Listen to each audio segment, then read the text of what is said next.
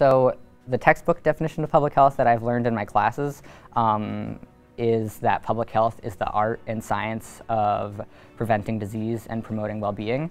Um, and while that's just a textbook definition, I think that that is a pretty powerful um, description of the reason why I chose to go into public health, um, because it is a community-focused efforts to promote well-being of large groups of people.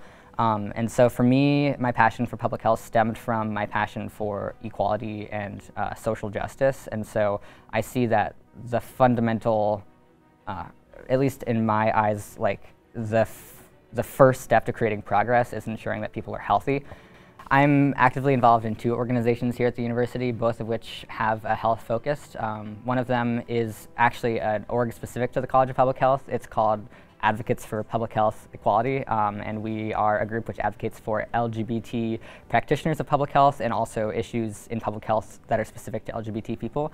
Uh, I'm also the vice president of the undergraduate student org OSTEM, um, which is out in science, tech, and engineering, and I use that to once again advocate for LGBT inclusive public health.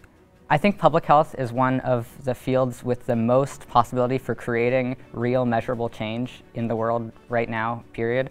Um, if you're somebody who wants to pragmatically go out and um, make a change for causes that you care about, almost any issue that you're passionate about, you can work towards a solution from a public health perspective. Um, whether that's the environment, whether that's um, like social issues and public policy, um, whether that's issues of diversity and equality, every single one of those has a really strong um, place for a public health worker to make a change in. Uh, and so that's why I'm passionate about public health.